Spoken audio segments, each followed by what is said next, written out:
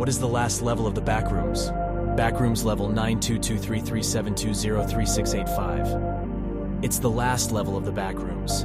It's described as an infinite staircase leading to nothingness. But it's possible to glitch out or falling in the middle of the staircase might take you to another level. This level's exits are unknown. But to enter, you need to enter the portal in level. The end.